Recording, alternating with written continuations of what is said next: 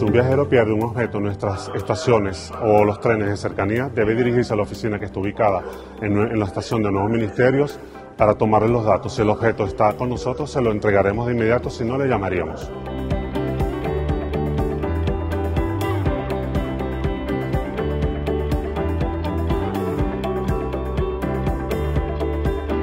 El vigilante de seguridad nos entregó en taquilla una mochila que se había encontrado en andenes. Entonces procedimos a inspeccionar la mochila, tenía documentación, tenía un portátil y una cantidad muy grande de dinero.